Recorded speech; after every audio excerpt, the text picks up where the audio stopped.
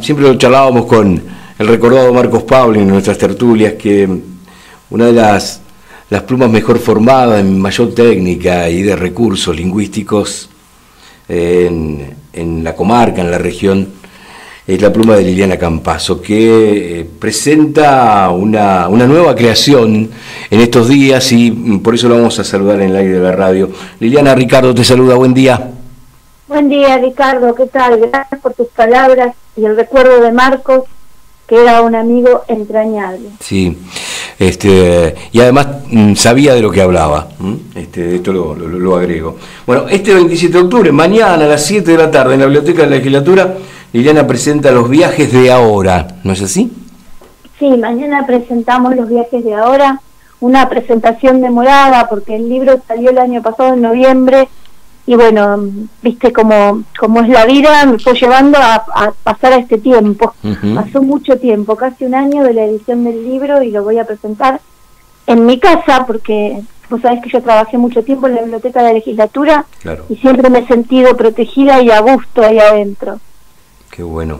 Bueno, y contanos, eh, ¿qué, ¿qué es Los viajes de ahora?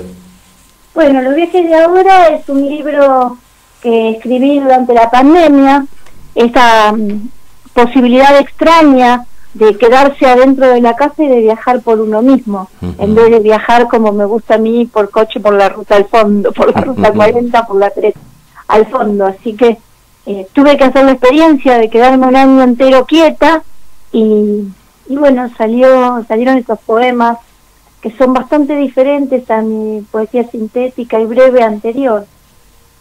Uh -huh.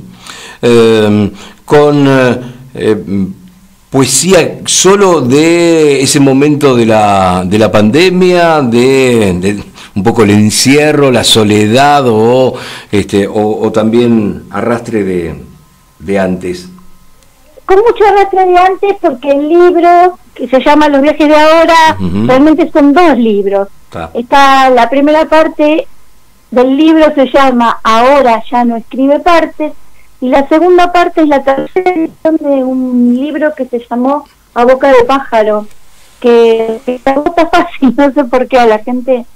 Es un libro que, que me ha dado muchas satisfacciones porque es la, calcula, es la tercera edición y para poesía una tercera edición es como medio raro.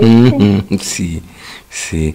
Liliana, la portada del libro es una, una puerta abierta en, en infinito, ¿Mm? corregime si Sí, este, sí, lo tenés el libro. Sí, eh, lo estoy viendo aquí en la en, en la presentación, en, en la ficha. Ah, sí, ¿Mm? viste qué hermosa. Bueno, lo eligió mi, mi editora esta portada.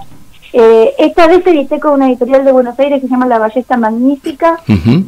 que está en el Delta, en el Delta de San Fernando, y la tapa es de un, de un pintor eh, holandés de 1914. Ah y me parece que era justo, ¿no? Esto de estarse, eh, de estarse repitiendo en los días de la pandemia todo el tiempo las mismas cosas, ¿no? Más cuando vivís en una casa chiquita como la mía.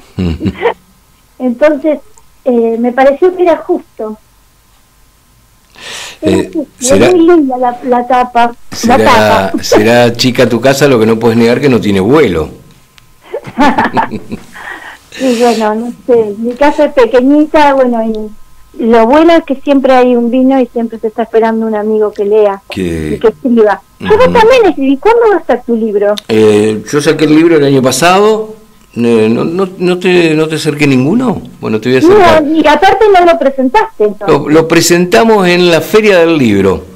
Ah, eh, del año pasado. El año pasado era todo muy simultáneo y ninguno estábamos en ninguna, ¿viste? Sí, sí, era todo todo junto. Pero bueno, este no va a faltar oportunidad para que lo puedas chumear y que me digas qué te bueno, parece. Bueno, ahora, cuando vaya, ¿lo dejaste en la, en la biblioteca? Mm, no recuerdo, creo que sí. Bueno, tenés que dejarle uno porque Silvia después lo procesa, Silvia uh -huh. Salinas lo procesa y lo ponen en un lugarcito especial con los autores de aquí. Pero creo que lo dejé, ¿eh?